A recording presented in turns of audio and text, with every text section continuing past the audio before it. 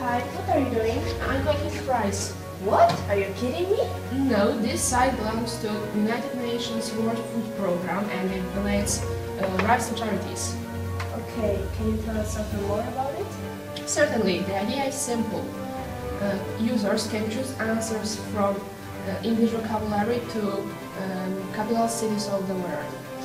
Uh, for every correct answer, advertisers uh, donate 10 grams of rice to, uh, to developing countries. Okay, can you show us how to do this? Okay.